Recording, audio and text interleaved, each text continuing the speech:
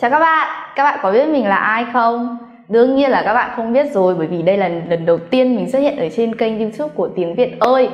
À, Mình tên là Linh và mình là một trong những giáo viên của Tiếng Việt ơi. Hôm nay ấy, thì mình đang ngồi đợi bạn để đi chơi.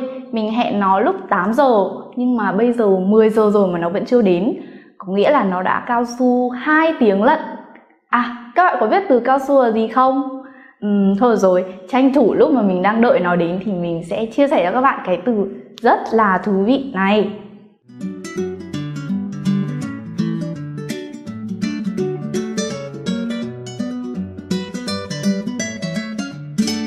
Nhưng tại sao lại là cao su nhỉ? Để giải thích rõ hơn cho các bạn, mình sẽ dùng tiếng Anh nhé. Well, you know, rubber has elasticity, right? So you can stress rubber like this In perception of people always being late, time is similar to rubber. So time is also straight like this.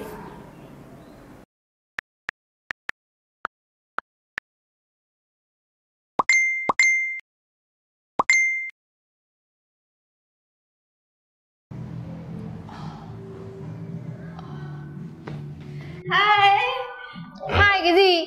Bây giờ mấy giờ rồi không? Cao su tận một tiếng liền Cao su being late is considered as a disease. And if you want to know more about disease not a disease bệnh mà không phải là bệnh please click, click our videos. I will put the link somewhere or in the description box. I also want to show you two more words having cao su in them but not means being late. The first one is kẹo cao su chewing gum, kẹo is candy. And another one is bao cao su. Can you guess what it is? It's the thing you can see in supermarkets, in convenience stores, and it is only used by men.